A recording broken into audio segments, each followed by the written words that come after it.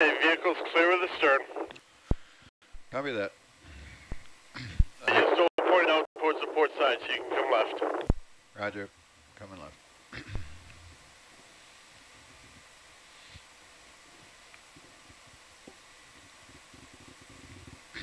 the danger of coming left there is I'll come too far left, but uh, I go a little bit slower here than some of the pilots will because the guy hand over handing the tether on the back, if you go ripping back, it is, uh, as Paul knows, really difficult to Mm-hmm.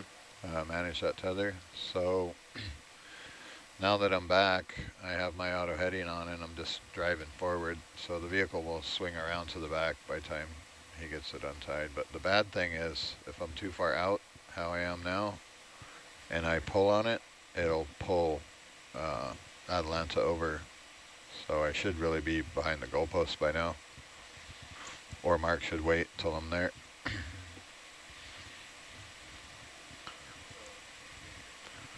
So now he's taking the straps off of it. I'm gonna keep a taut tether, but not really, really tight. And I can come out of auto heading just for a minute and fly forward a little, and that will set my heading to where it needs to be, and then I'll click it back in. So what I'm watching now is for that tether slapping on the uh, on the water, and if I pull too hard, it'll start jerking Atalanta. And I'm keeping an eye on the ship, making sure it's not uh, going on a holiday.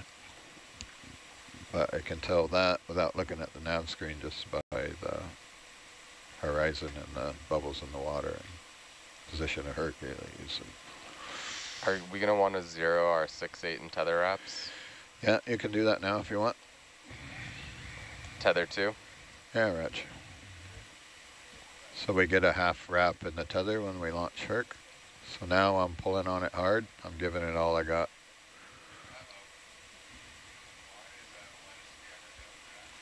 Uh, it's just uh, seeing the deck there and getting bashed about.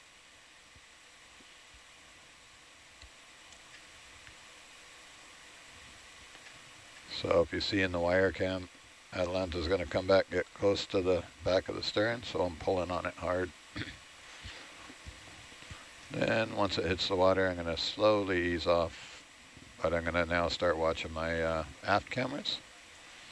Yeah, I guess it's going down, uh, Atalanta. Atalanta. Roger, roger, Hercus dive, dive, dive. And not I'm here to turn on all Atalanta sensors and lights. Yep. We're taking hits in the camera. And nav bridge. We can, uh, Uh, stand by. Go ahead. Please confirm you, you, you- you want us to, st- to stay uh, moving ahead until the ship's Yep. at 50 meters and then Roger. we go into DP, is that correct? roger. Roger. Paul, turn on your depth sensor, please. Uh, which one is that? Atlantis depth sensor, peril. It's on. Really? Oh, I'm not getting, uh, yeah, that's why I'm not getting it. Yeah, I get no delta. I gotta go old school and use the GUI delta.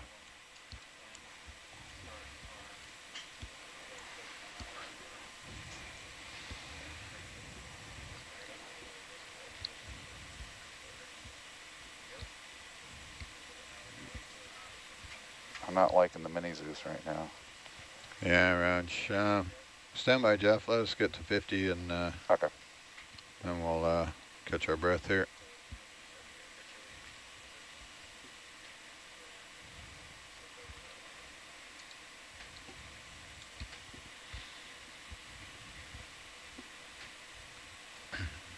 I'm watching some other uh, I'm watching some other numbers up here. I can't can't uh, deal with it at the moment. Sorry. Standing by. I got these little bitty numbers I have to look at now. I'm missing my big numbers.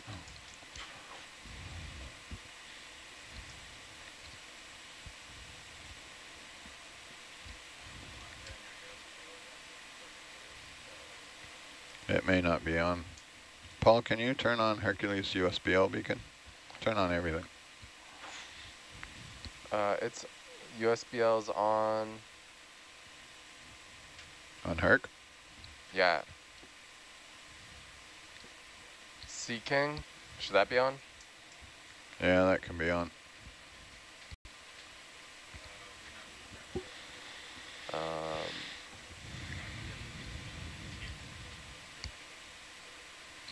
yeah, all Herc sensors are on. Roger.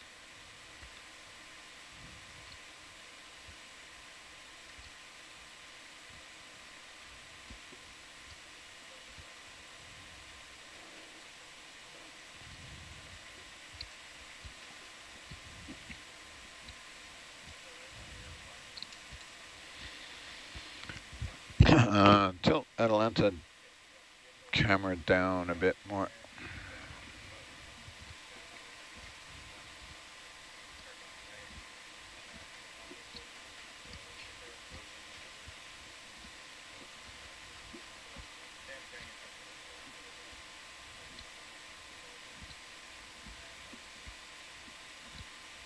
Yeah, USBL is on, right?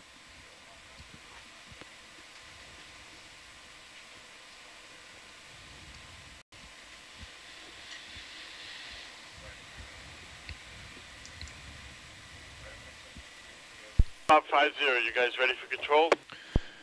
Ready for control. Hey, go ahead and bump it.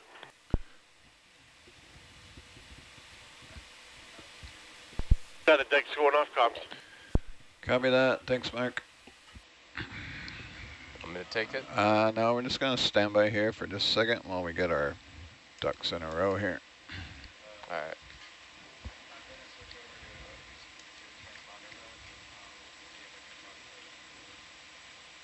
Roger.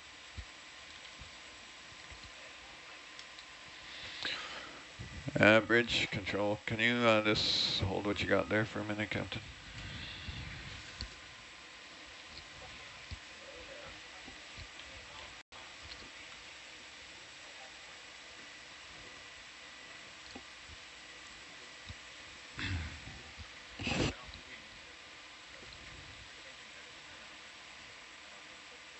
Yeah, I don't want him to change heading yet.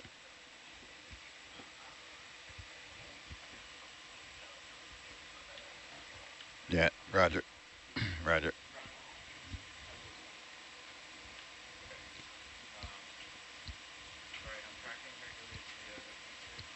Okay. So we can continue down. Ready? Yep.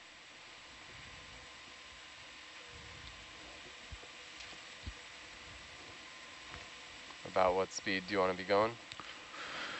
Um, should match my speed. Let's try 20 meters a minute.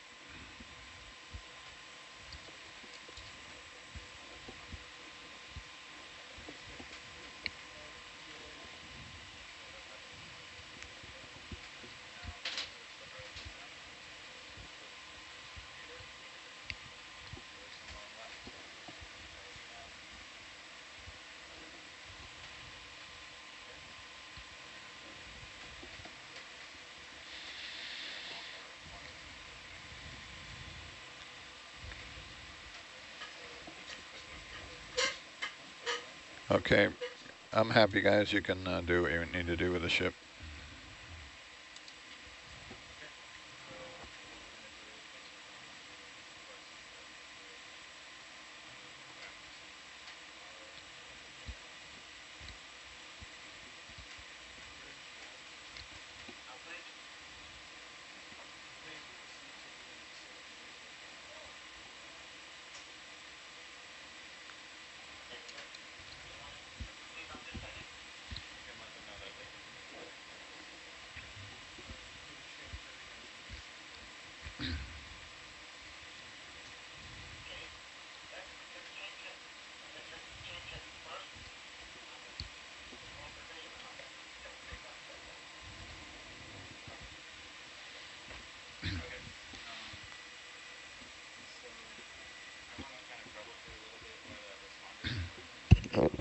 So um, also what we did just did there, um, of the ship shouldn't start um,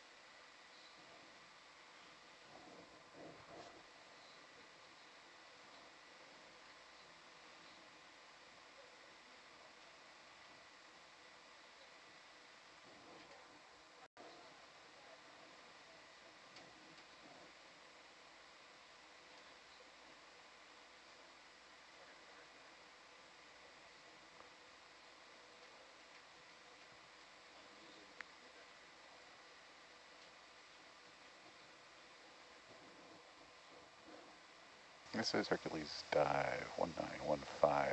Universal time is 2008 55 mark.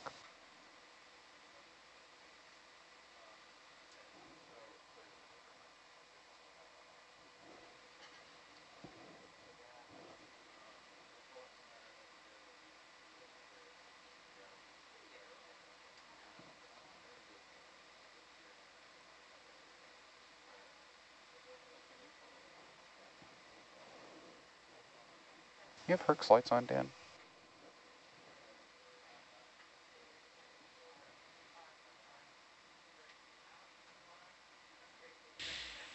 Okay, uh, keep an eye on our delta here. I'm still struggling with that. So I'm going down at um, 25 meters a minute now. So your job is to keep the delta par. So right now it's 20 meters. I'm 20 meters below Oh. you, which we can see by the um, Cable. yeah, one of the Another. tells is the, if you can't work it out here right away, we should be able to see Herc or Argus in one of those aft cameras. So you gotta go faster. Copy that. Hey, pilot video, are uh, Herc's lights on? No, I'm getting to him. Okay. Sorry, I just thought I was going blind here for a minute. you're not. Uh, lights coming on. Ooh, look, we got lights. We got lasers. Yay. I didn't want to deal with it at the moment because No, I I, was it. worried about ground faults, and I'm just looking at the uh, at the dummy light here and make sure everything's all green. You want to bump left so we're not looking at, uh, What's that? you want to bump left, pan left. Copy. There you go. Get rid of our wonderful arm there.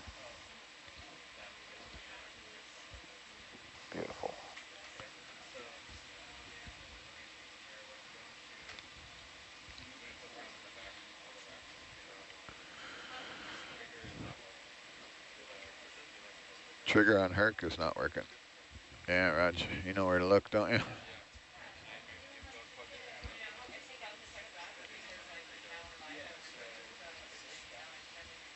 Yeah, we should have hopefully checked that. Come a little faster, Paul. I'm still 20 meters below. If you pull up your utility page over there, This thing? no, on the right here on the bottom where it says utility. Hmm. So that vertical velocity, Yeah.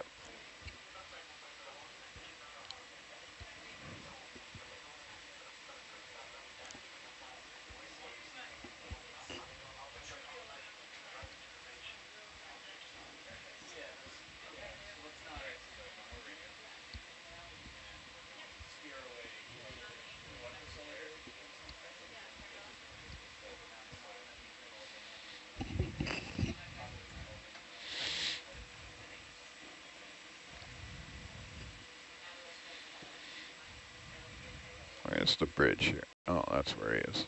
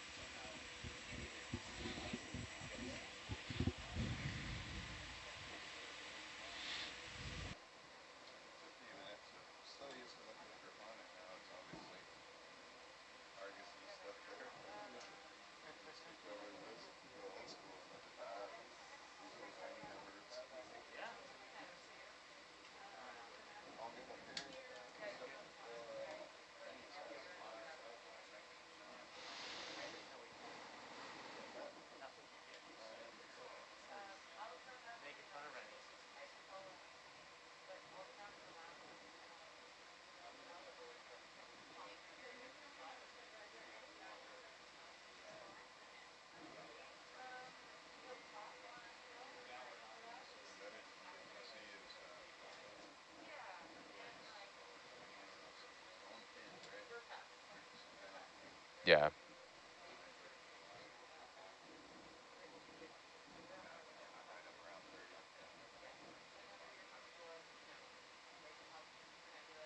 Can I lock the speed in? Are we doing that? Yeah, are you guys back row all on SPL right now? Listening anyway? Yeah. Yeah. Hmm. Yeah, to like refresh that to.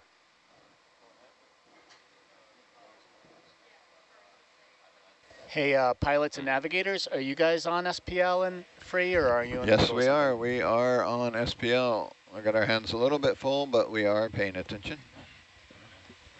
Okay, great. I see our navigator is still uh, engaged, so we'll give it another minute, but then we'll turn it over to our SCF to uh, organize some introductions for the watch. Yeah, I'm usually going to be comfortable up here around um, 250 meters. By then, we should have all of our ducks in a row, and everything should be pretty much, uh, hopefully, buoyant from here on out.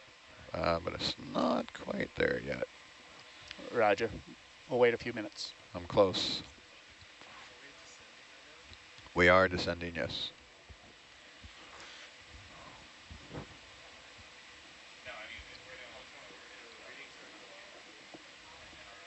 What's that? Yeah, this is locked up. Uh, I want to look at these numbers now, unfortunately, and Why did your velocity drop down? I just came off of it for a second. So uh, my heading was coming around there. I didn't have, uh, I don't quite got my.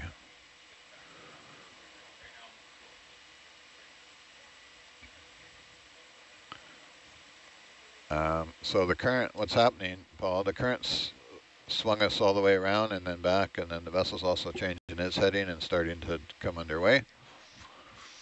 And I'm spoiled about with my Grafana here, looking at the ship speed. Mm-hmm. Otherwise, I don't get it in any decent place. I got to eyeball over there and look like really closely. Speed over ground, 0.5. Wow, he's rocking it. So my Grafana is not updating. I just refreshed mine. Yeah, I shouldn't have to do that. Yeah. I have to close this and reopen it. Oh, you kicked your speed back up. All right.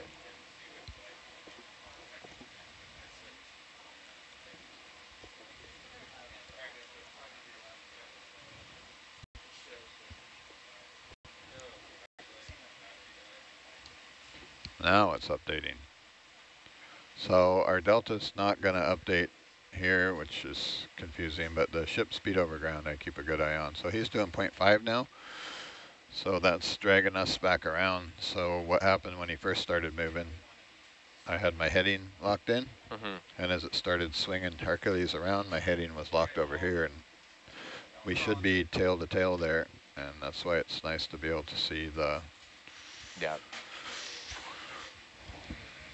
But I should be back back in the box now.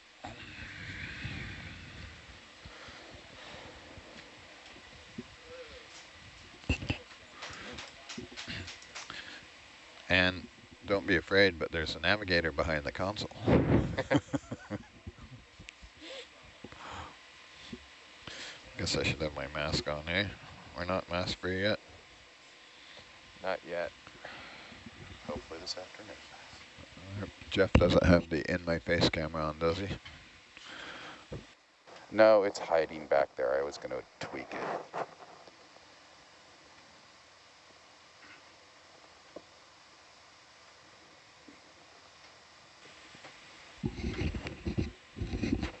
Hey, pilots and nav on the on the vehicle nav screen. Is there an estimated time to bottom based on our descent rate? There is on the uh, on the utility screen that um, if you're looking at the Her Hercules GUI back there, Oh, okay, we'll switch to that. Yeah. its uh, time to bottom is 76 minutes and 10 seconds.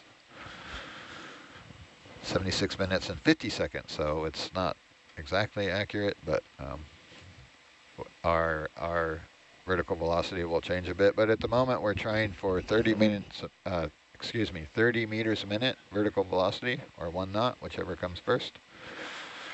And the current depth is 370-ish meters, and our target depth is uh, 2,500-ish meters.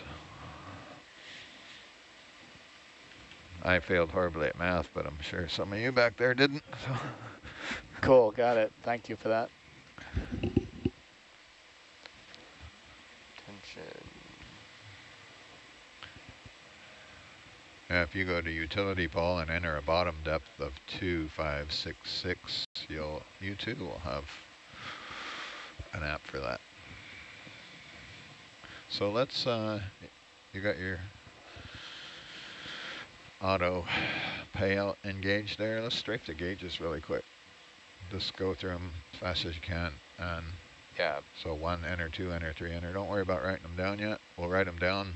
Uh, we'll do the formal gauge check once we're at depth. But I like to um, know what they are now, and I like to keep an eye on them on the way down.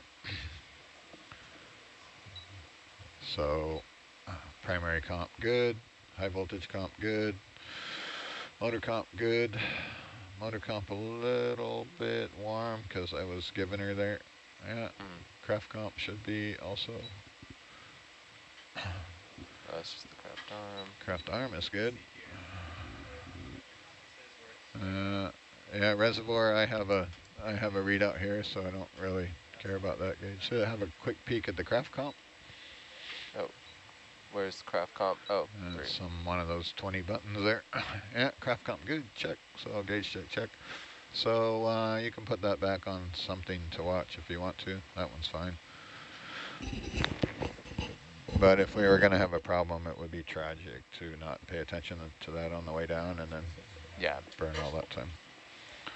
and uh, what are the readings on Argus now with this like double res and those yellow stripy lines? Like, what am I actually looking at? So you're looking at the volume there, which is uh, the same as the craft comp. So you know when we look at the craft comp and we see some number between zero and some arbitrary number, right? Yeah, Uh, zero and eight. So those marks that you saw are halfway hmm. volume volume way. So it's a two point or sorry, it's a 1.8 liter comp, something like that. Van, this is Lounge. We can hear you. So um, you're watching the volume there. So they've dropped about, um, you know, they're about a third full now. I would like to see them a bit more, but as long as you can see those white pistons, we're good. got it.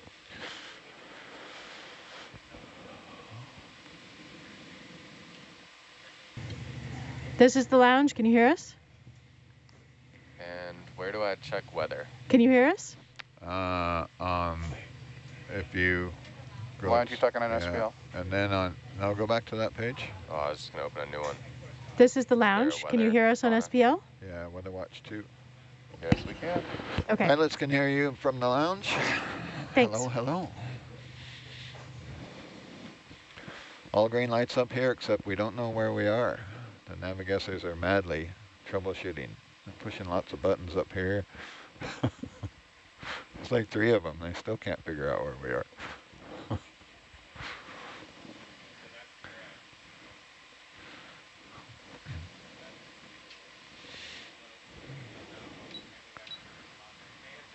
Somewhere in the North Pacific, we know that. Depth of approximately 500 meters. What they are doing, and uh, to be serious, they're um, they're troubleshooting the USBL on Hercules. They do have uh, position in uh, transponder mode, but our responder, so where we send a trigger down to the beacon on Hercules and it chirps, and we get the responding uh, echo on the uh, on the ship. That part is not uh, not happy.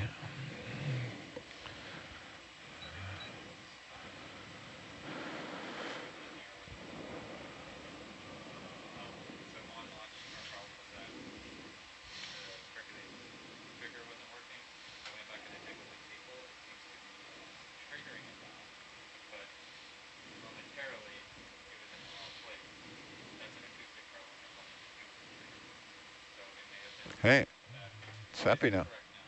Oh, now we know where we are.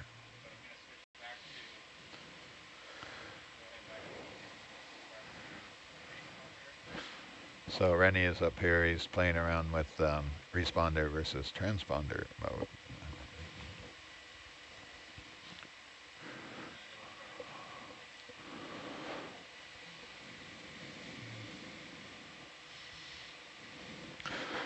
Okay, Paul, you remember how to operate that uh, craft manipulator? A little bit. So we can lose the big book now. And I forgot to bring the red book up here. So I like to bump it on the way down. Mhm. Uh, um, so it should have telemetry now. And you can either put it in your lap. I like to operate it right there from my seat, but it's dealer's choice. Make sure we don't pull any wires out of the console and make the lights go out up here.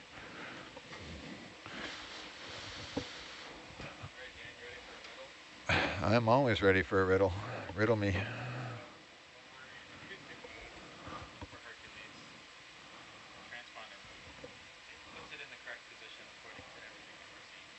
All right.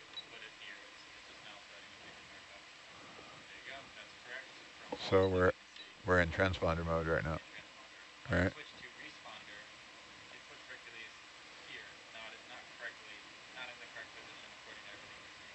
Just on NavG, but not on the Sonardyne.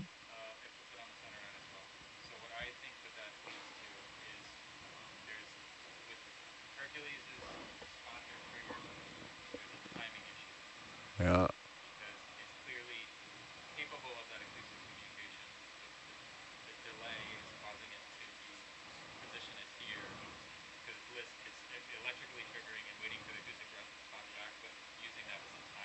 Yeah. Yeah.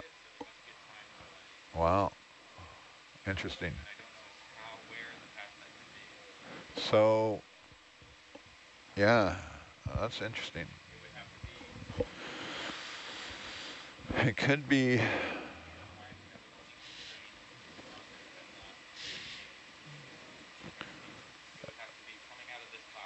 Right.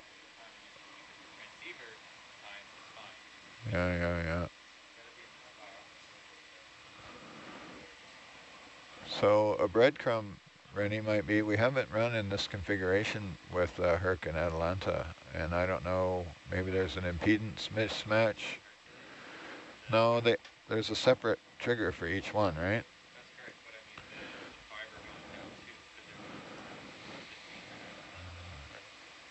It could be. s-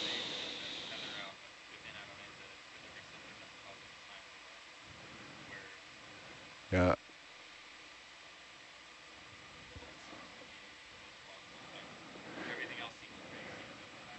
Yeah, interesting. So, yeah, it could be something to do with the coarse Courseway division multiplexer in Atalanta versus Argus. Um, could be something to do with the trigger um, gizmo that Robert has up here. The way to work that out would be um, get a scope out on the deck and uh, you know see what the see what the trigger's doing with the two. So we we could look at both of them with a dual trace scope, and they should. Yeah, yeah.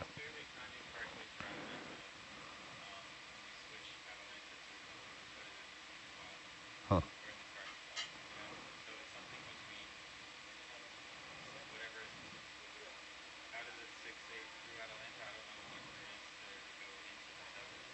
Well, the so um, Argus and her, uh, sorry, Atalanta. That's going to take a while. Atalanta and Hercules both run on their own fiber and their own mux.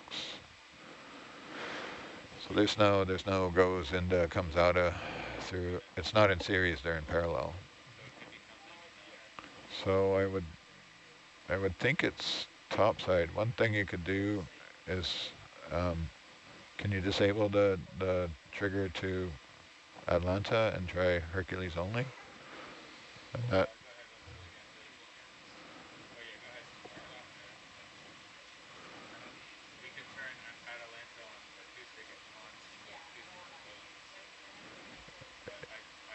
either way.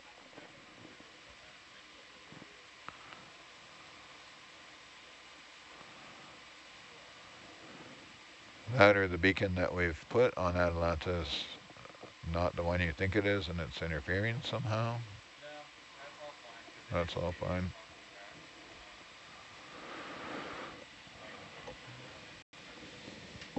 Still scanning, Paul? I'm Mm-hmm. kind of half watching here.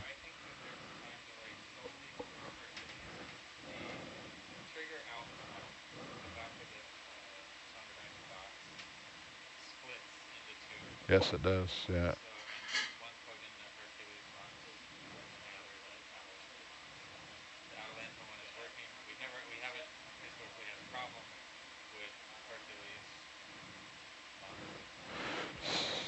So it, it seems happy now with you're in responder mode for Hercules and Atlantis off. Is that correct?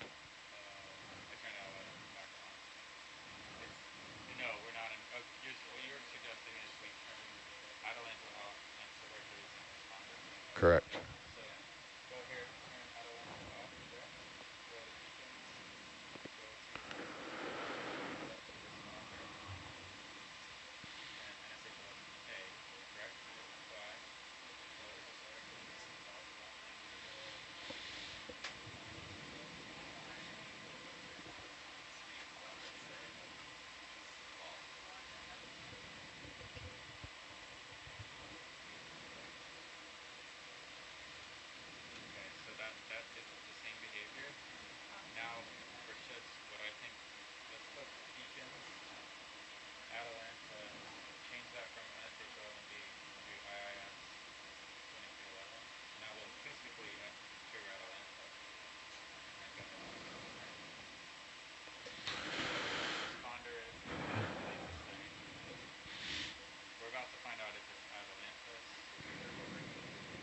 All right.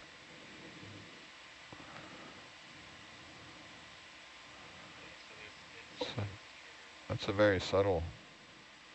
So there's something in the trigger line on Herc. That's right.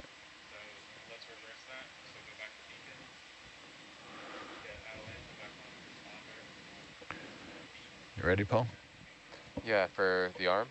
Yeah, so I'm gonna turn the Kraft valve on. There's that mini Zeus glitch again. Yeah, I was noticing the, uh, you can see the cable on the Atalanta cam is uh, bouncing around quite a lot. Yeah. Why are you blaming my cable routing? okay. Did Okay, you not zip tie that, Dan? clear for, uh, it is bouncing around quite It a is bit. bouncing around. But I have it tagged between the connector and the camera body, so it's not dynamic a lot on the fiber connection. Yeah, it's definitely taking heads. It's not happy. So uh, what are my buttons here again, Dan? Uh, This one yeah, starts so, it. yeah, so if anything goes pear-shaped, uh, you're gonna wanna hit the blue button to turn it off. And Yeah. then the button on the very end is the, that will make it uh, live or freeze it. Got it. And the button on the left is the jaw lock button. The button on the right is the wrist rate or continuous, which we usually have in continuous, how it is now. hmm Um, when you first hit the hydraulics on, you're gonna wanna hold the jaw closed with your finger, and that should alleviate it from snapping open when you give it the hydraulic juice. So yeah, yeah, beautiful. And then I can just do grip lock, and now I can let go of that. Uh, correct, yeah, if you wanna keep your jaws closed. So now I can take it out of halt and uh, move it around. Yeah, Am I clear? Clear. our scoop uh, not magnetized? the scoop is on a bungee now, so we can't lose it. Oh, okay. It's really embarrassing, and we're on Mach 4 now uh, when we do this. The magnet is, um,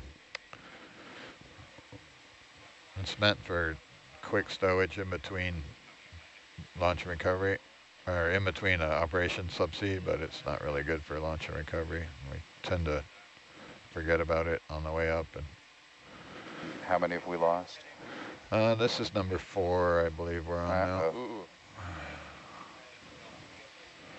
Zeus is not happy. We'll have to dig it out of there, but I don't want to do it while we're while we're descending. So we're still uh, troubleshooting nav and trying to keep all the other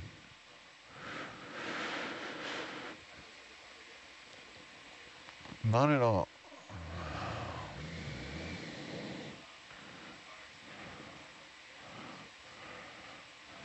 You can interact with the uh, Kraft Predator and the telestrator at once. The telestrator doesn't uh, go onto our screens here in front of us, so it, it's the top two screens are are all for the back row. Okay, gotcha. That's good to know. So yeah, we don't. If anyone up here is complaining, they're looking at the wrong screens, and their neck will be hurting so looking up.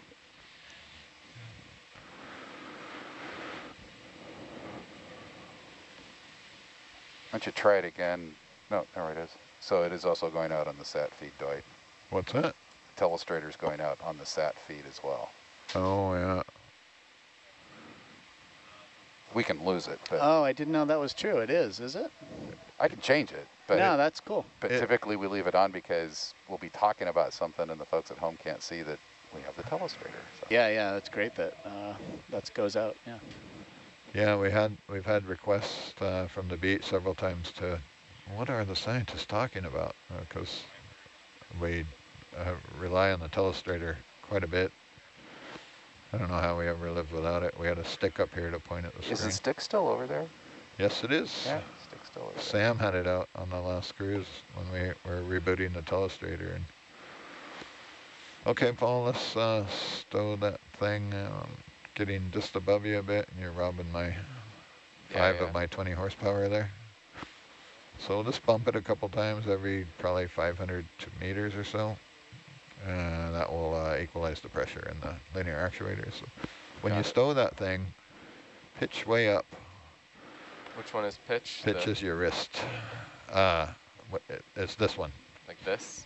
Yes, sir. So, and then all you have to do is bring the shoulder all the way up. And then you can hit the blue button once the shoulder's up. You don't have to bring the elbow in close to the linear actuator. Remember the shaft that we were polishing? Mm-hmm. So when you stow with your pitch down, the jaws will contact the, the shaft. So just like this and then hit it? Yeah, yeah, that's perfect. And then as you notice when you hit it, it'll give a little twitch, but it'll it'll usually relax into a decent position. And you can leave that thing right there if you want, or you can move it out of the way. It's up to you. Cool. Thank you, sir. Awesome.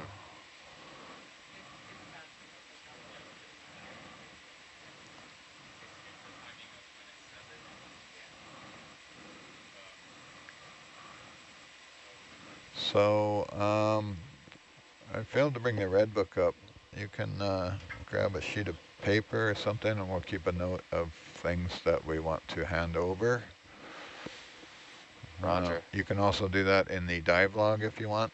So one of them, um, uh, let's note it in the dive log. So we're seeing a glitch on uh, Zeus. And we also have um, a very subtle mystery with the Herc uh, responder trigger.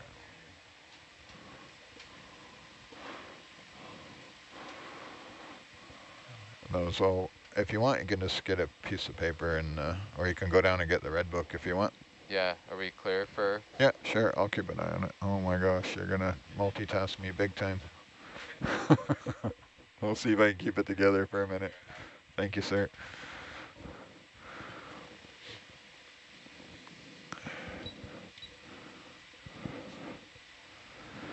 Yeah. Right there on the edge. So any any prognosis there or still a mystery?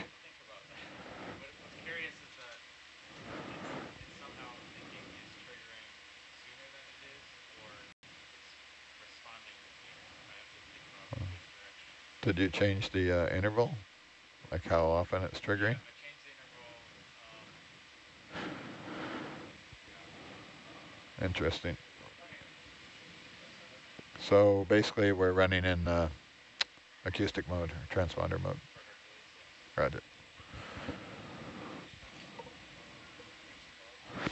We should reach the bottom in approximately 55 minutes. And then we'll have to do some um,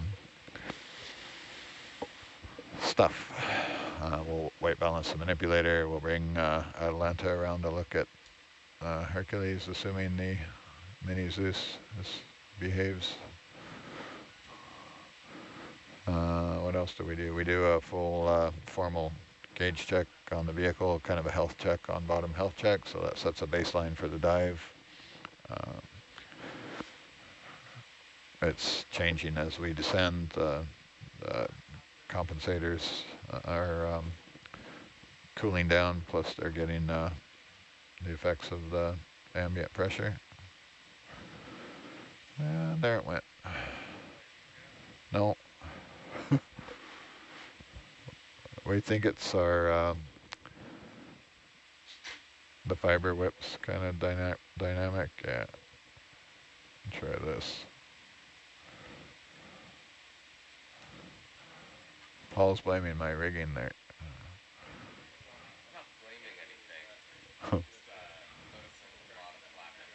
so the two issues we have for the red book so far are um, we're running Hercules in uh, transponder mode. Uh, there's um, an unknown issue with the um, USBL trigger on Hercules.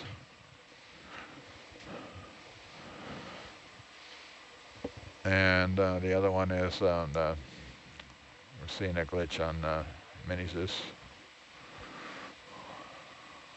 It's rather annoying. Dan, can you define what uh, responder mode means for us? Does it uh, mean we'll have um, poor tracking on the vehicle or? Uh, yes, sir, can define that. So yeah, and uh, typically we run the um, the both vehicles in responder mode. So we're sending an acoustic trigger down the fiber and that uh, makes the beacon chirp. And uh, then the USBL head knows when it should, exactly when it should listen. And we're having a really puzzling issue with uh, when we are tracking Hercules in uh, responder mode. There's some, appears to be some sort of delay which causes Hercules to appear on the navigation screen about uh, 100 meters away from where it should be. And uh, so when we have two ways of tracking the vehicle, we can also go in uh, acoustic mode or um, transponder mode where we don't send a trigger. The USBL head sends a chirp down to the beacon on on Hercules. The beacon on Hercules receives the chirp and then replies. So basically the the uh, trip time for the acoustic signal is doubled in that fashion. So it Gotcha. in in theory won't be as um, as accurate in the scheme of things, but But once we're on the seafloor in, in Doppler mode, I guess, as long as we get a good estimation for its position relative to Atalanta, I guess we can correct. set things that way and follow. Correct. yeah. Yeah, it um, you'll get an accurate position in in uh, acoustic mode. It'll just it'll take longer. So if you take more average hits, so if you sit there for two minutes versus a minute, um, you'll get a what we call a smear on the nav screen. So you'll get a whole bunch of hits, and then they can use the the average of those uh, returns to um, to home the DVL, and and then as long as we maintain altitude with the DVL, we'll we'll have a a pretty good idea where we are. Roger that. Thanks for the update. Hey, since we're all sort of settling into our watch positions now, uh, let's turn it over to our science communication fellow. Milana, you want to say something? Yeah, can you guys hear me over here? Yeah, we can Yep. hear you. Yes. Alrighty, aloha mai kako. I'm very excited. This is my first um, exploration with all of us. Um, I'm gonna let Dwight talk a little bit about what we're doing here and the mission for this exploration. Yeah, thank you. So uh, we're all very happy to be in the water and descending the ROVs down to the seafloor. Uh, this is um, Hercules Dive 1915. Uh, we are on the Liliuokalani expedition, NA-138. Uh, this is the first official dive. Uh, we tried to do a dive last night and ran into some difficulties, so we had to cancel that, and uh, we resumed this morning. So we are challenged with some weather situations and current situations, but uh, all was good for the launch, and uh, we're heading on down towards the seafloor. We've gone, uh, well, I think well past 1,000 meters now on our way to a total depth of about 2,566. We are on the southern flank of King George Seamount. Uh, we're going to do about a 14-hour dive um, and transit from about 2566 meters up to great. up to maybe close to 2,000 meters uh, depth. And along that dive transect, we'll be uh, collecting samples. So we're um, very interested in characterizing the uh, the geology and the biology uh, of the seamount. And uh, One of your logs and we'll be we collecting rock samples and collecting seven um, animal samples to help us better characterize uh, the environment uh, here. And we're very curious about the age of these seamounts and the nature of these uh, critical mineral crusts that um, may be um, encrusting some of the rocks in this area. And we're uh, very interested in um, uh, understanding the the volcanic origin of these seamounts and their geochemistry and, and sort of nature and uh, trace that to what hotspot on the Earth's uh, on the Earth's crust that uh, erupted uh, probably something like 80 million years ago to form this this seamount. So that's some of the goals of the dive. Um, we, will be on watch with the 8 to 12 only for about a half an hour of bottom time, and we'll turn it over to the 12 to 4 watch. Uh, but I'll turn it back to you, Milani. Thank you. Um, thank you for that brief overview of what the goal is for this voyage. And now I want to, um, I'll go first. And what, what I want us all to do is I want us to, let's, let's say our name. We'll say our position. And then when, if you, and then when you say your position, I'm going to try and um, explain what your position is in Hawaiian. So I'll, I'll just, well, after you say your position, I'll say the Hawaiian name and then I'll let you take back over and then you can tell us like maybe where you're from and then we'll pass it on to the next person. Okay, so I'll go first. My name is Malanai Kane Kuahibi Nui. I am a science communication fellow slash educator and in Hawaiian that is uh, a kumu ike or a mea haimo ha'imo'olelo. And I am coming from Oahu in Kahalu'u.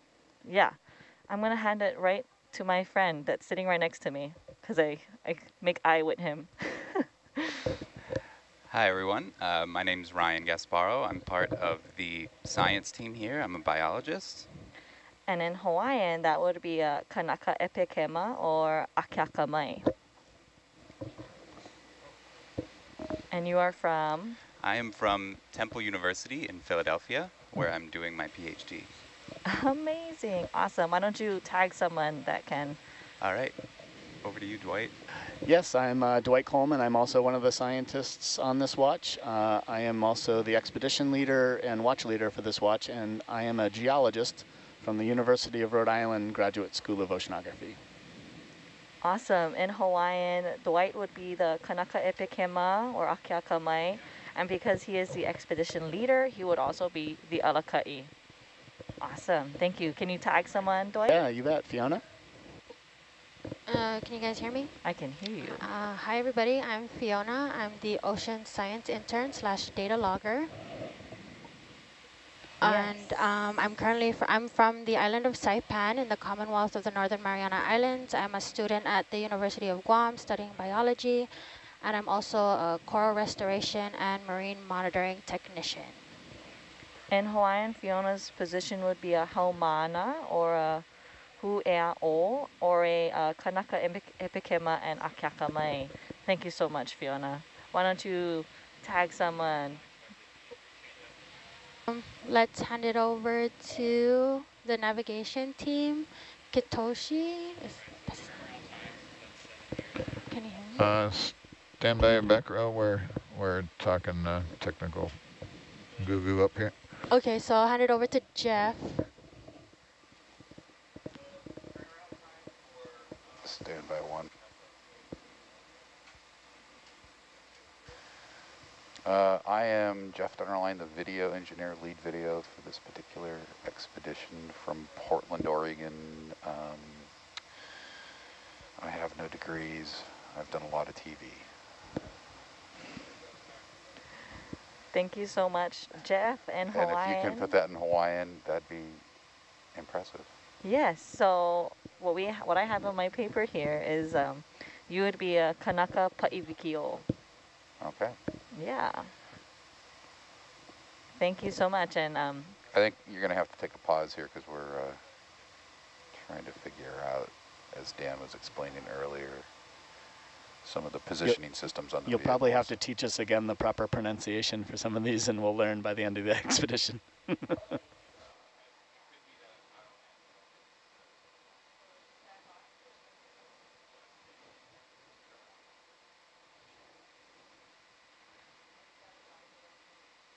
Yeah, the pilot and the navigator are engaged in deep conversation right now, so we don't want to bother them too much. They've probably gone off SPL.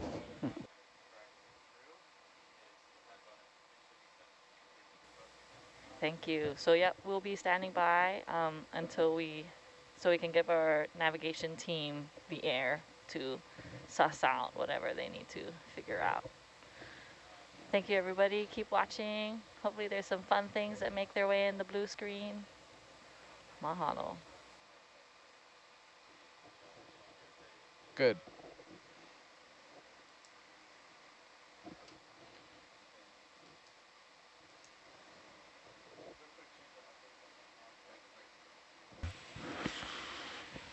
Uh, navigators are still pushing buttons like crazy up here, but they have resolved our uh, transponder responder issue. They have adjusted the turnaround time on the beacon and um, some other magic that I couldn't even begin to explain. But the short story is it's working. Hey, there are heroes. awesome. Yes. Um, it's quite complicated uh, black magic when you start sending sound through the water and especially nowadays that it's digital, so there's just pure magic there, and there's uh, a lot of settings on that two machines, three machines that they're using to uh, figure out where we are. We tease them once in a while I'm on the Navigesser thing, but they really are quite, have been quite busy up here, and uh, yeah, we know where we are now. We think we know where we are. Never quite sure. Never quite sure. That's why it's exploration. Uh, by the way, I'm Dan. I'm sitting in the uh, Herc seat up here. I'm the bus driver, whatever that is in Hawaiian. Awesome. So the bus driver in Olelo, Olelo Hawaii would be, um, hmm, there you are. You're Pailaka Mokulu'u or um, Mokulu'u Kia Awaya. Thanks, Dan. Oh, my pleasure.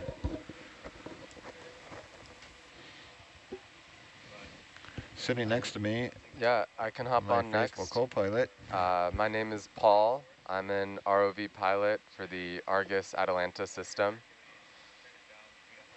And in Hawaiian, you would be a Pailaka Mokulu'u or Mokulu'u Kia Awaya.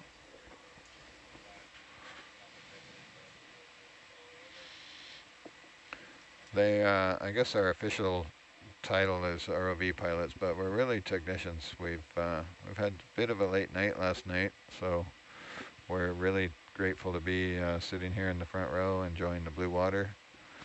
Um, the challenge, this is the easy part of the job for us. The challenge is uh, to keep these machines in operational order and uh, get them in the water.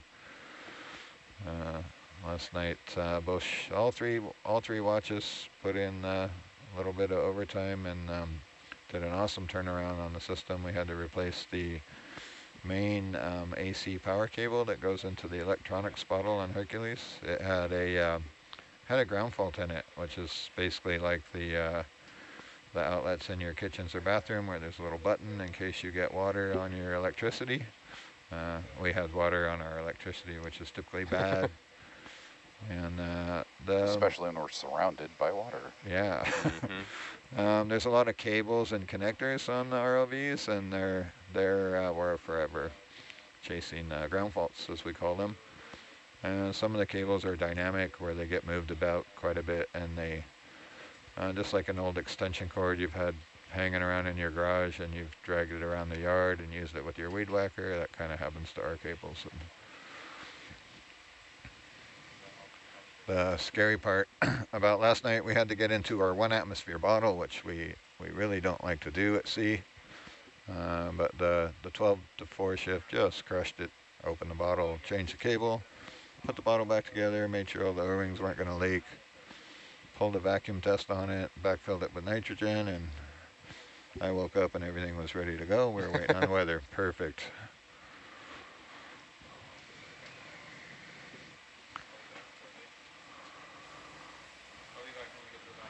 Roger, thanks, Rennie.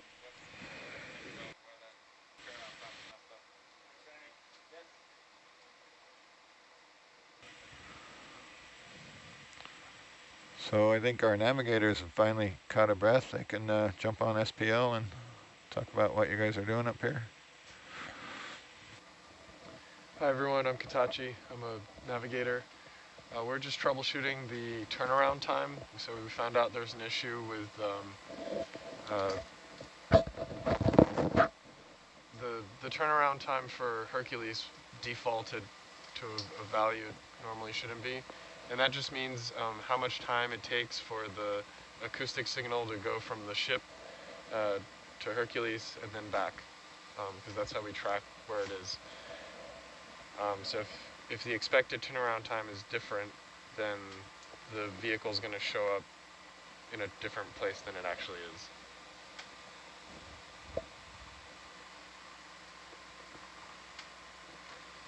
Great explanation, thank you.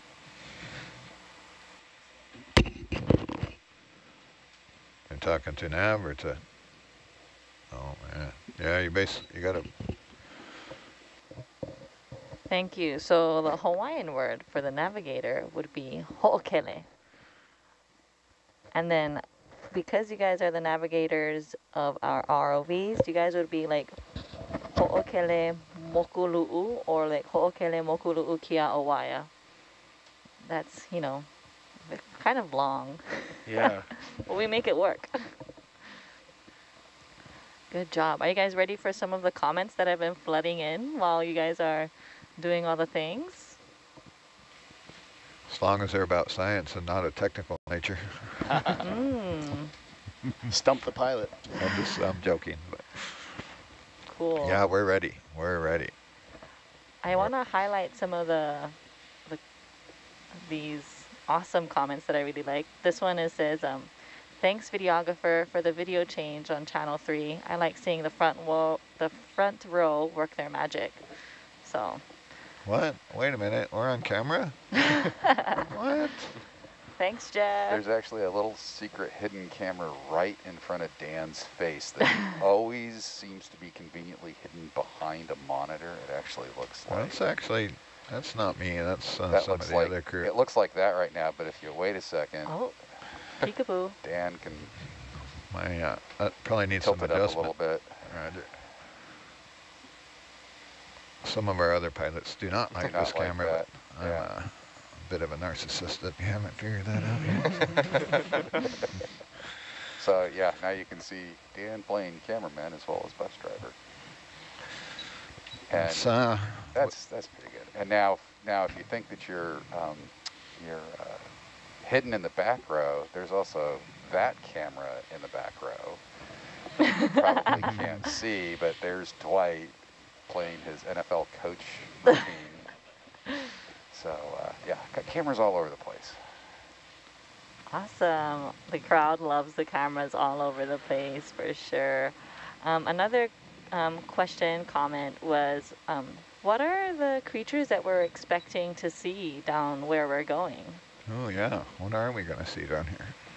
That's a really good question. Um, so we're expecting to see um, hopefully a lot of corals and sponges on the hard substrates we find on the seamount, um, along with a lot of things that are associated with those corals and sponges.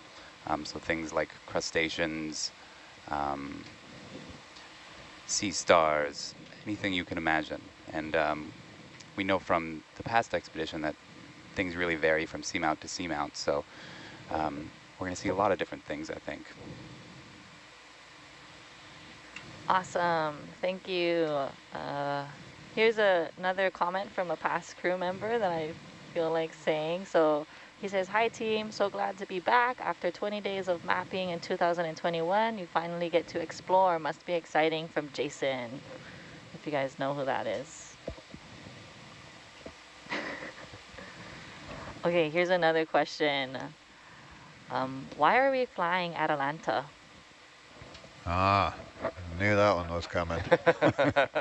uh, basically because I blew up Argus, so we had, we had to switch in at Atalanta. I'm really sorry for that. I, uh, I, I plugged the wrong thing into the wrong high voltage thing and apparently let the smoke out. And uh, I did that the night before we were sailing, so uh, in the interest of uh, getting to a diveable system, we we uh, decided to swap out swap out the vehicles. We've been having uh, some issues with the with the thrusters specifically on on uh, Argus. They're electric thrusters. They run off 160 volt DC, and they have a controller made by Teledyne, so they work basically like an electric bicycle or an electric skateboard. And uh, so they take um, DC voltage and uh, create a uh, AC sine wave to get a variable speed motor. And um, they're quite complicated little things and uh, they're a bit finicky.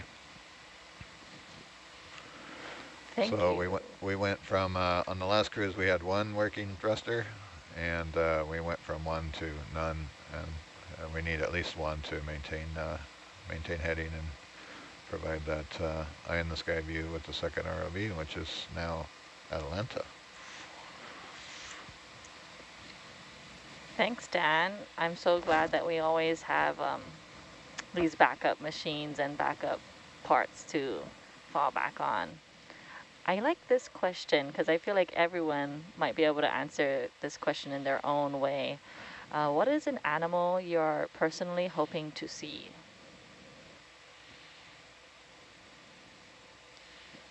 Um, I'm excited personally to see a lot of the different coral species. There's a type of black coral that they saw a lot on NA-134 called Iridogorgia that um, sort of looks like a firework suspended in midair. Um, I'm hoping we see a few of those. And what about you, Fiona? Oh, sure, why not? I, I like uh, siphonophores. I think they're really beautiful and, and cool, but I don't know much about them. They're a colonial animal, right? They're Yeah, they frightening. frightening. My, uh, they scare me. on the top list of edge of my seat every time I see one of those. I think. Yeah, the pilots don't like them much. They, they entangle. Um, so I'm not really too sure what the scientific names are for these creatures, but I'm more excited to see those deep sea sharks and how they work down there. I'm only, I've only ever seen like reef sharks, so it's gonna be pretty cool to see those Oh, freaky shoot. things.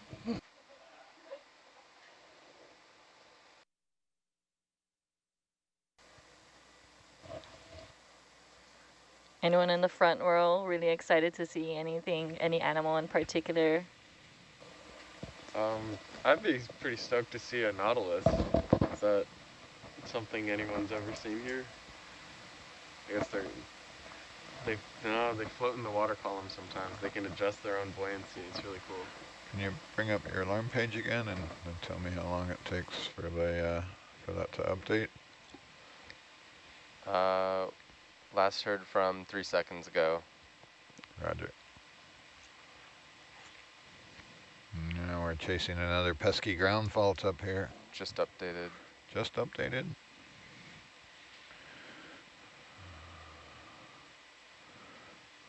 Well, it's uh, several hundred K ohms, so kilo ohms, so it's not a hard ground fault, but I'm gonna turn off a few more of the likely suspects here, so you might see some of your cameras uh, go wonky. How about now? Uh, four seconds. Uh, bottom left. Good. Four seconds. So it, it updated? It updated, yeah. Yeah, sorry. Okay, I'll turn those back on. It does not appear to be any of those.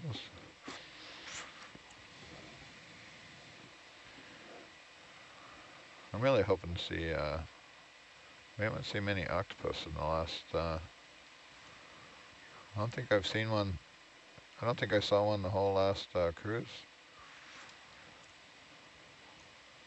They're uh, they're my favorite as well.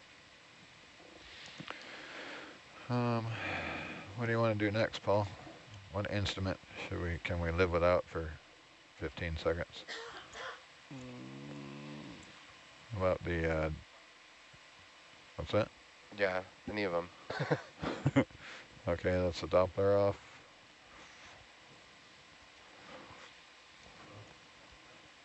Uh, still waiting on the update. Yeah, the longer it takes, the more likely it's that suspect.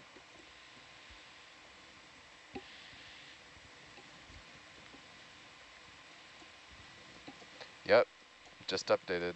and Bang. It's gone. Wow. Yeah, so Hercules is, uh, it's been around for a while now and some of the components on there are still original. So we kind of have an idea what to, what our problem children are and what, what to look for. So in this case, we have a, appear to have a ground fault on the DVL, Doppler velocity logger. I'm gonna turn it back on and see where that goes. Hercules does not like to sit on deck for extended periods of time, so the first dive is always uh, a bit more of a handful than subsequent ones. We get a few bugs that we have to work out. Yep, that's definitely it. Should make a note in the log for that one. Yep, just did. It's gonna be a long handover. I like the everything is good, see you later, bye. Yeah.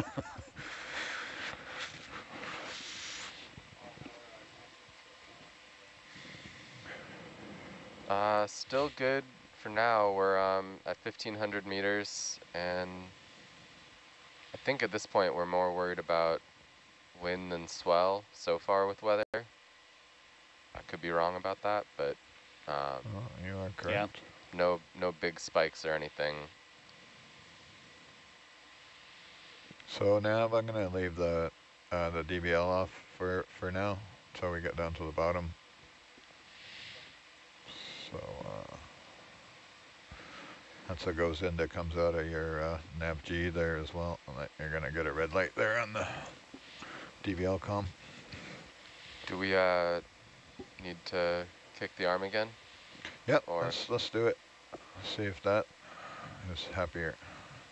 See, stand by. I'll give you. What am I doing? Pressing a button. so. Two of them actually. Yeah, but we'll wait there. So your red light should go green there for telemetry and power to the uh, manipulator, which may also cause our ground fault monitor to scream a little bit. And that's going to be this calm. Correct. But- yeah. Yep, bowed calm. Can you guys remind me of a few things? What are what are the ranges on the two sonars? Uh, the one on the left is typically set to 100 meters. That's on uh, currently on Atalanta. And so the, the target or the range rings there are 20 meters per division. And the one on the right is uh, Hercules, and that's typically set to 50 meters. So you have 10 meter range rings. Gotcha, perfect. And then there's another one of, uh, in front of us here, and it's currently set to 20 meters, so it's got uh, five meter range rings. And the the one here in front of us is uh, great when we're really close to a vertical wall. We we rely on that quite heavily to. Oh yeah, what's that display called? If we want to pull it up back here. That is the engineering PC, so it's currently displaying the uh, Tritech sonar, which is mounted on uh, low and forward on Hercules, and the top right is uh, uh, the winch tension Oh, there um, it is. Nice. program that we're monitoring. So you can see that our max tension so far has been 8,262 pounds. Hey Dan, the uh, ground fault is now at 11 kiloohms. It was Yep. previously 70. Yeah, that's good. Okay, I'm gonna turn on the, let me rack the camera back and give you a view first. I'm gonna turn on the hydraulics and we'll give her a whirl. Ah, And is that lower left sub bottom profiler functional, or was that correct, yes it is. Oh, it's on uh, And it should be set to 200 meters. Good eye, Dwight. Okay, that, ready? that probably Yep. picks up bottom first. Is that right? Correct, yeah. It's our, uh, it's our farthest reaching one. Do I wait for the hydraulics or that is the blue button? That is the blue button. I'll be ready on this one and just in case it gets a mind of its own, which it occasionally does. While you're doing that, I'm gonna set your uh, sub-bottom profiler here. If I And do we just kick it just to like run Yep. it, or do I? That, that should be good.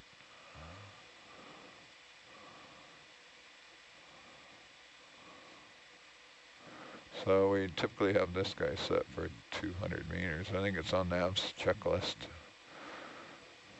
You see the navigator squinting over your shoulder. They're looking for the for the bottom. Do you want me to kill uh, Kraft? Part of my valve reason for the questions is for, for refreshers for everyone. Yeah, we have a plethora of instruments up here to uh, tell us when the seabed is approaching before we slam into it at one knot. Um, the sub-bottom profiler can see the furthest, and that's on... Uh, oh, wait a minute. I'm confused. That's on Argus, which is sitting on the deck, so that's probably not going to read the seabed too well. yeah, I was wondering. Why is that even on? The blinky light's not so I guess we have what Paroscientific uh, altimeters? Is that, or, uh, or sorry, um, that's the depth deucer, right? Yeah, we have we. You're correct. We have the Paroscientific uh, depth sensors, and uh, so we're we're relying on uh, on the awesome uh, Nautilus um, multi-beam system to to know wh where the seabed is. So we have a really good idea, just based on our depth. There's also altimeters on both vehicles, and uh, the other one that uh, we have is the sonars on both vehicles. So uh, we should start seeing some ground return on the on the sonars. And one of the things I'm looking for as we come down is uh, where the hill is or the cliff. So we typically want to keep, uh, in this case, Atalanta in the deeper water behind Herc. So I'll start uh, eyeballing that and adjusting uh, vehicle positions as we as we're coming down. So uh, we're ready to rock and roll when we hit the seabed.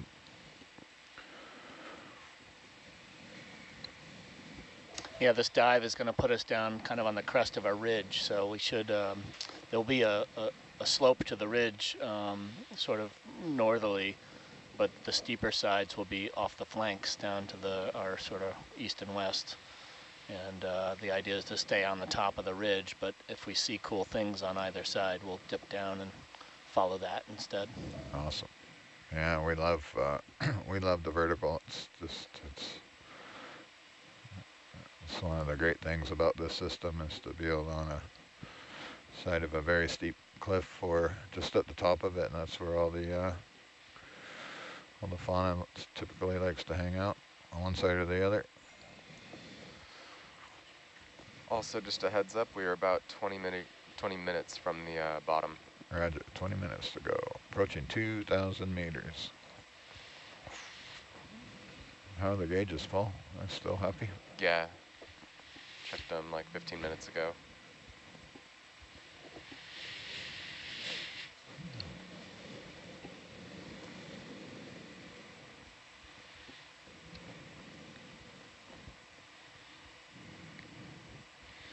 We should have, uh, if we do everything right here, we'll, once we get to the to the bottom, uh, have some patience with us back row. We have to, um, we'll try and do it a little before, but we have to uh, position the vehicles according to the bathymetry. Uh, we'll do a white balance test for uh, Jeff for the for the Zeus camera, which involves getting the manipulator out and focusing on uh, on the white patch there you see on its upper arm. Uh, Paul will be busy recording for posterity all the gauge values once we're on the seabed. Navigation has a checklist, making sure the vehicle's are in the right position and the DVL is associated with the USBL, which will be difficult for them because I have it turned off right now. And, uh, probably the, a few other things we kind of, I know sometimes frustrating for you guys to have to wait another five yeah, that's okay. minutes, We'll we'll pretend explore. Roger. And then once all that uh, is done, it'll be, uh, the van will erupt in complete chaos because there'll be eight more people walking in here. 16 people will be talking at once. Yeah, let's hope the 8 to 12 doesn't become the delivery watch all the time. Yeah. Well, I think we get the blue water recovery tonight too. I don't mind. It's going to be, uh, it might be a little spicy. It'll be fun. Awesome. I'm going to step away and Justin's going to take over for me so that I can go and have a live interaction.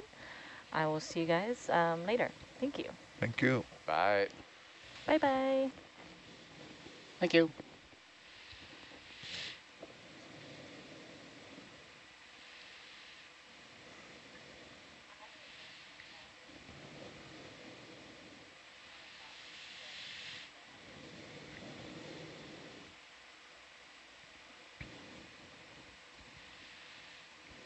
I should have put a little more juice in those comps. Live and learn. I should know better. Is that video glitch on Atalanta like a slip ring thing, you think? or No, we think it's the, uh, Fiber if you see in the uh, bottom left quad there in the top right corner of uh, monitor three, Yep. you can see a bluish cable Yep. kind of bouncing around there with the heaves. Ah, yeah. That happens to be the power telemetry and uh, fiber cable. And it seems to be timed with the heave. So it- it has to be somewhat loose so the camera can move through its range of motion, but perhaps it's a little too loose. A little too loose, so. Actually, the symptoms, it looks like it's losing power, not fiber, but Yeah, the fibers don't like to be bent around too much. They are tagged where it comes off the back of the camera. They they wrap around and they're tie wrapped to the camera body itself. right. So it's in theory not dynamic on the connection point to the camera, but I can see it moving in the background a little bit there. hmm I usually put a piece of Velcro around the camera and make it a little bit tighter, but there's a trade-off there. You don't want to bend the fiber too tight, and you don't want it too loose, and um, somewhere between between those two, I think. It seems to be on the heave up. With any luck, that will uh, that won't happen when we uh, when we stop going one knot with Atalanta. Right, yeah, gotcha. Oh, there's something cool. Quick, get a capture. Um, I've had the uh, Atalanta thrusters off this whole time. Do I want to get a No, yeah, you want them off right now. We're we're tail to tail, so as Yeah. long as those two headings are opposing, and You're- the uh, the aft cameras are showing us each. You're probably about the heading that we're gonna want, though, right? So I think so. bottom, Yeah, as luck would have it. I've been pulling uh, excessively on Atalanta, though it's a little lighter than Argus. So I've moved it like 75 meters away from the vessel. Mm. I'm going to adjust this guy here to uh, 20 meter. I usually keep these boxes on 20 meters. That just gives me, uh, when we're on the seabed, I can see at a glance. The nice place to be uh, for maneuverability and the best video is about 20 meters from Atalanta. So that lets the tether come off the back of Atalanta, go down underneath on the weight, and then float up on the footballs and then come back to Herc. If we get too tight, it starts pulling the tail of Hercules around and you'll see the video bounce a little bit. Uh, too close and the tether can become entangled.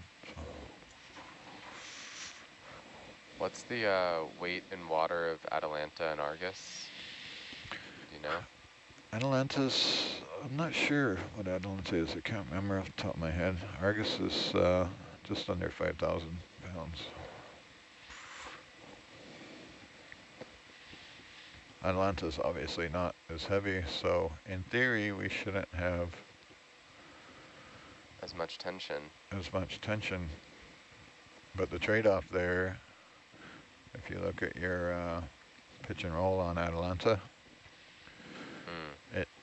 as it heaves up, it tends to kind of, you know, fall Move. over a little bit, Yeah. which is uh, not desirable for the 6.8.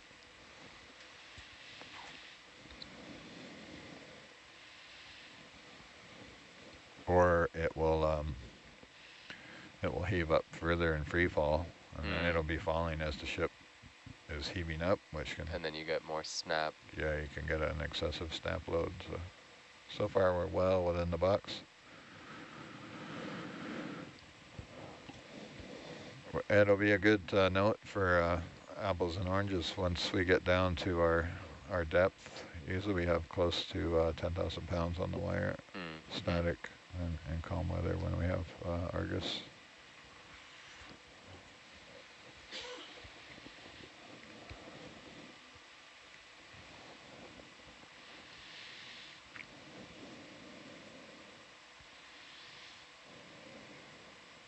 We looked it up last time, now I can't remember. I think it's something like a kilogram per meter for the weight of the 6.8. Mm.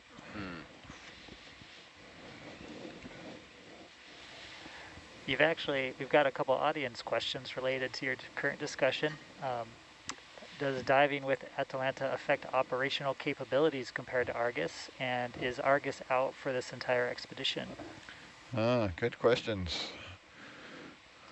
Um, the hopefully the answers to both of those are negative. It should not affect operations, and uh, we have our top scientists and engineers working on putting Argus back together again. Uh, some of the main differences you'll notice is uh, typically Argus sports uh, one of the Zeus cameras, uh, which is the same camera that's on Hercules, and um, Atalanta has a smaller version of that. Still high definition, but uh, Jeff could probably address that better. It doesn't. What doesn't it have, Jeff? It doesn't have the giant lens. Doesn't have the giant, it's actually a single chip camera, so we don't have nearly the control over it that we do with um, the, the regular Zeus, the HD Zeus. We have a lot of control over the colorimetry, whereas with the mini Zeus, we basically have iris and zoom and focus, and that's it. We can't paint it. And at the moment, we're swearing at it because it's flickering. Yeah, it's rather distracting. I'm thinking about turning it off till we're there.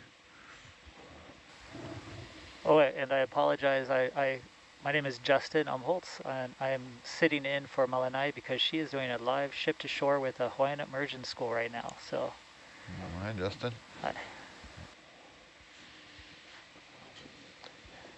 And just to keep everyone on top of it, we are about 10 minutes to bottom. 10 minutes, I looking for altitude. Switch into altitude mode. I'm just going to turn that DVL back on now, so you're going to probably get the ground fault, but that's Herc's altimeter as well. Yeah.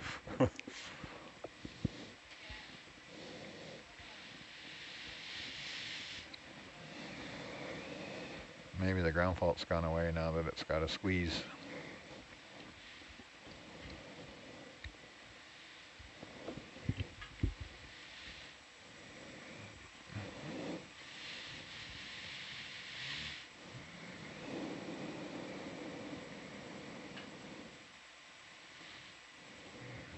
Oh, it was a ctenophore. I think it was. Pretty deep for one of those. I must be seeing things.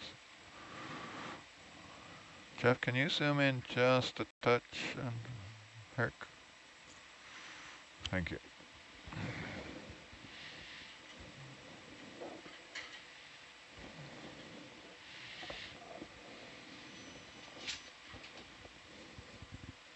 What's the beep? Is that us beeping? I don't think so. Is that a BIOS beep? Nah, it's me. It's a, a widget in the system that's not happy. Um, when I'm seeing like Atalanta at altitude bouncing around, that just means it still hasn't seen the bottom yet, or Yeah, roger. It's just noise on the on the altimeter. Are you at, uh, I need to slow down a little bit. You're good. Okay. I'll just slow down just a hair here. Click in some auto heading and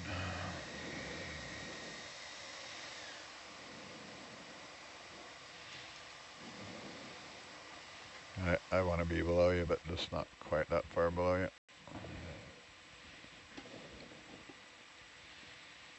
If we come down around a 15 meter delta, 20 max, then uh,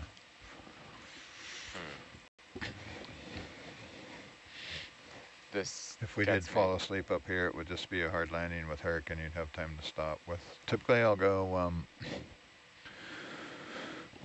when we get definitely by 100 meters, we should have the stick out and your hand on the Yeah. on the uh, remove stick lock. And I should uh, be doing the same here.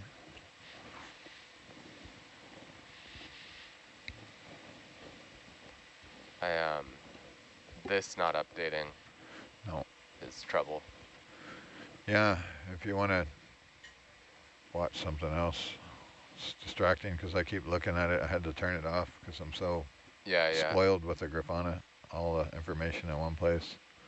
Is that a Which is actually bad because now I have to spend an extra second brain cell or two to look at the little tiny numbers here. It has to, the processing loop has to run three or four more times than it normally Af- does. And after a month out here, each brain cell becomes uh, precious. Well, that couple uh, seconds could be the difference between catching something bad happening and not. Yeah. Like looking out your car window when the deer crosses the road. So we're about 200 meters off the bottom. Yeah, I need to slow down a little more. I'm, we must uh, hit the, it's really strange, the, you hit the different layers Thermoclines, in the right. in the sea and the and the effective uh, speed of the vertical velocity of the vehicle really changes. Yeah. Pilot, you have room for another question? Absolutely.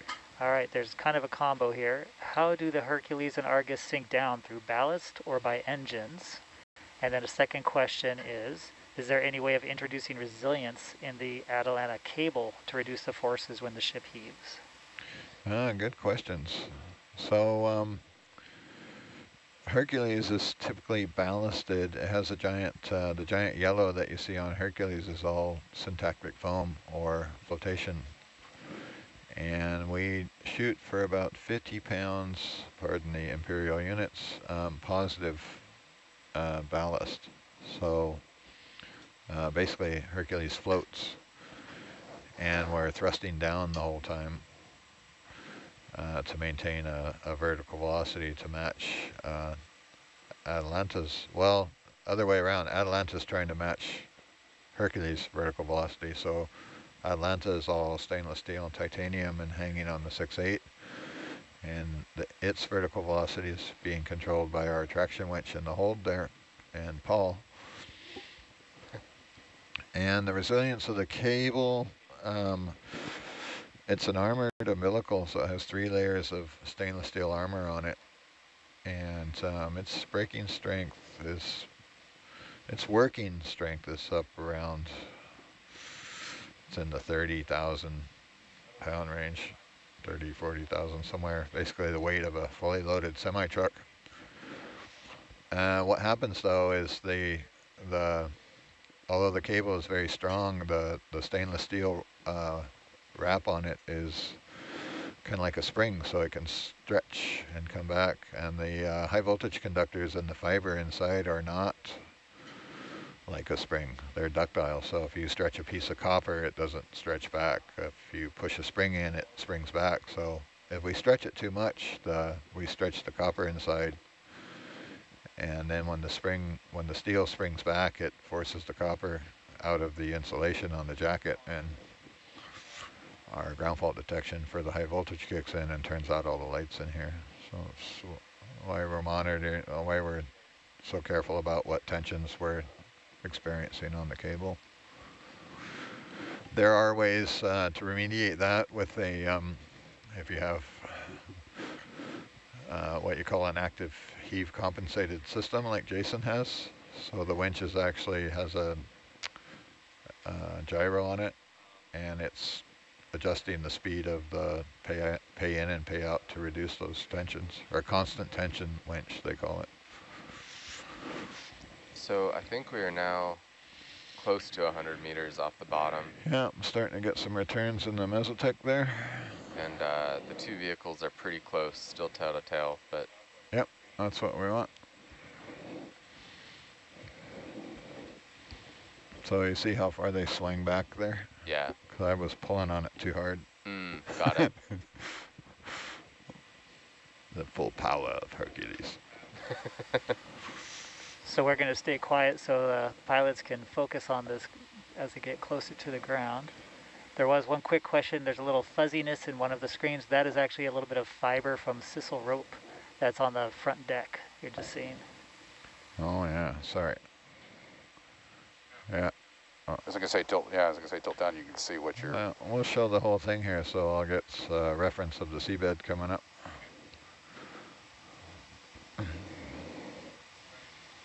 How am I looking here? So I have auto heading clicked in. Um, do we have altitude yet? I have altitude. Looks like like seen so some ground. DVL is happy. We have four beams on the DVL.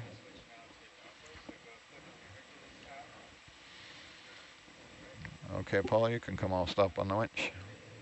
Copy that.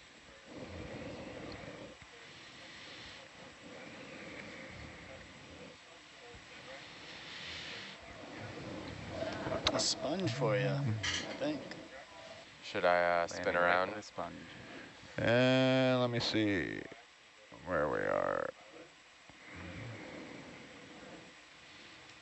Yeah, you can do DVL reset. I'm all autos off. Yeah, Paul, you're clear to swing around. Why don't you come down, uh, come down three more meters.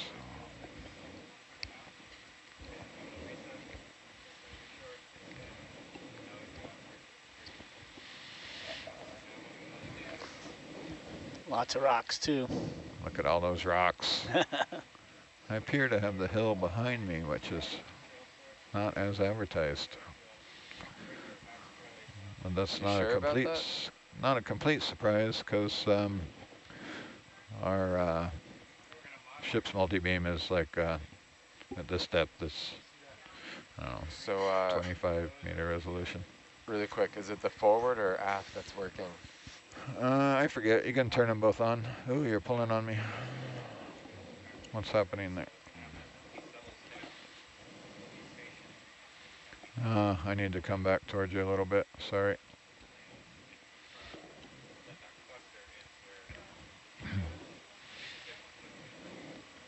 All right, I will spin around and try to get you in view. What's your, uh, where's your altitude? Argus altitude?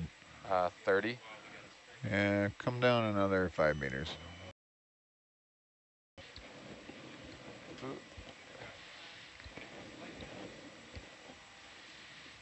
Something's funky here.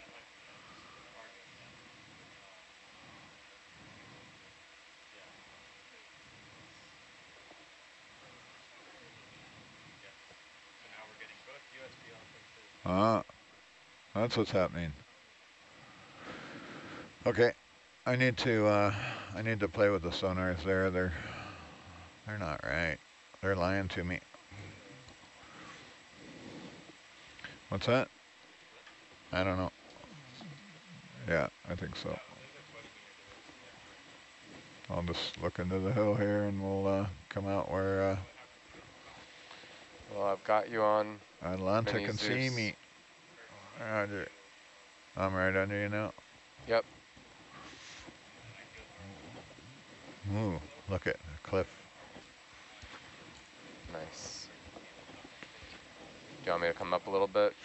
If you're going to come on top of that, or? No, I'm just going to come around and uh, I got to play with the sonar there for a minute. So, uh, let me. Now, good time me, for gauges then? Yeah, good time for gauges. I got to press a few buttons here.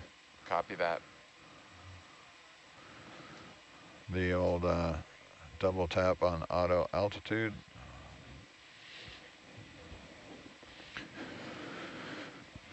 I'm going to use the DVL for a minute there if you're all right with it. What am I doing here, Rennie?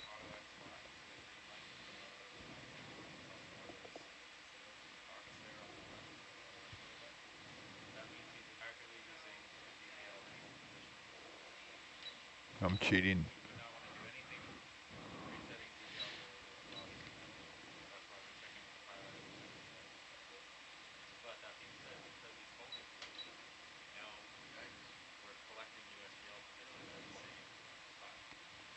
Come up a little bit, Dan. Is that lens? We're Roger. close.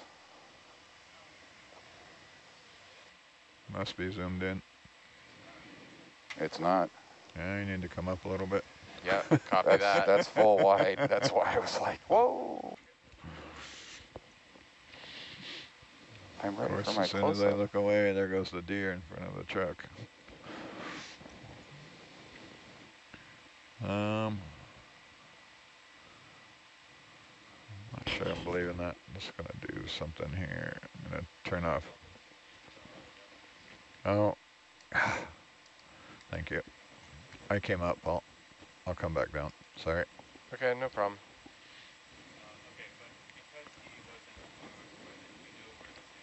Should I follow you back down? Yes, please. Sorry, guys. Um, Some we have there's a strange strangeness in the system when I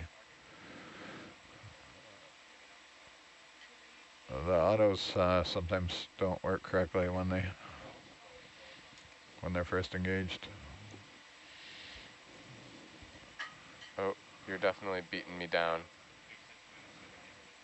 Yep, you can come down another five meters back where I was. Let me try this again and actually watch it for a minute.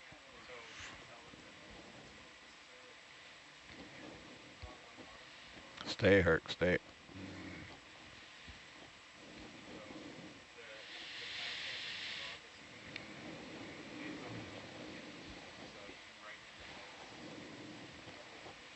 Hey, I'm down in the lounge. I'll come up. Okay, that's better. Uh, where was I? I'm gonna just uh, click off my meso for a minute. Yeah. Now it makes sense, right?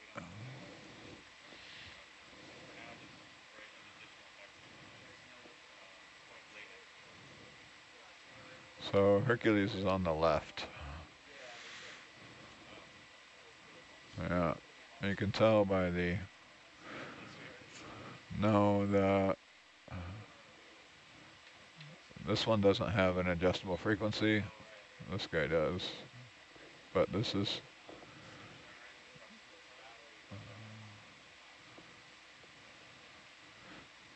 sorry, back row, this is taking a little bit longer than uh, normal. We have some uh, strangeness with our sonars here. The whole head upside down, right side up, left, right, Argus, or Atalanta versus uh, Hercules. I should have caught this before. Are you coming up again, Dan? Shouldn't be, I am. Why are you not staying? Yeah, pilots, definitely work out what you need to work out first. No worries at all. Are you still Working on coming up? No, um.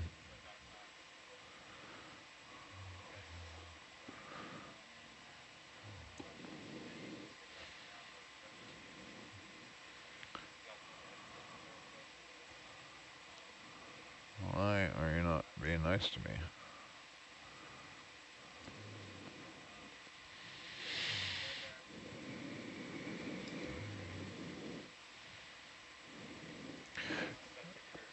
Rennie, can you deal with the sonars here? So the head, the one on the left should be Hercules, so it's, yeah. Well, the up-down thing is not correct. Sorry, I'm, how'd you do that? Really? Okay, and then Herc should be 10 meter and Argus should be 20. I have those backwards as well.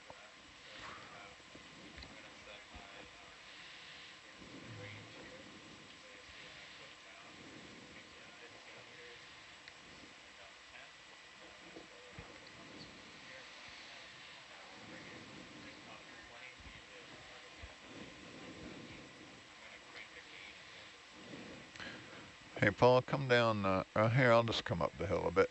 Sorry. You're good. Copy that. Uh, you want your heading to be, let's bring your head to the north, eh? Mine? Yeah. Or no, you come down. Come down uh, 10 meters. Some cool corals here. I don't want to leave them behind. Well,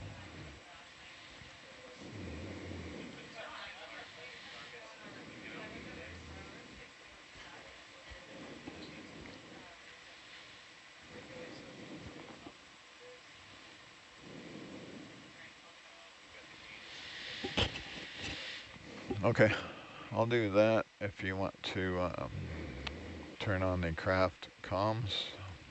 Yep. You, are gauges okay?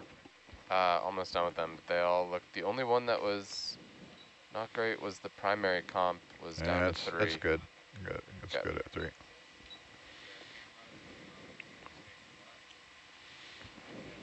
Um, You got telemetry there yet? uh, not yet. Oh, now I do. Okay. Kraft valve, ready? Yep. Third.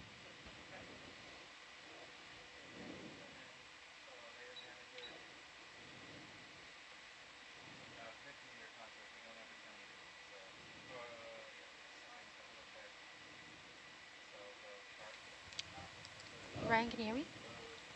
Um, can you, are you able to identify what those corals are up there? All right, just give it a little bump again, right? You're going to want to bring it out in front of the camera, A little but not away. too close. And um, so Jeff can do a weight balance.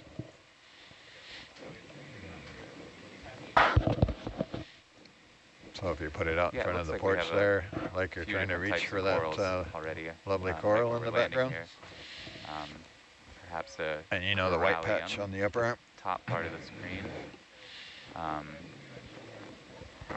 it looks, it's hard to tell at this distance, but maybe some chrysogorgid corals as well, which are sort of bottle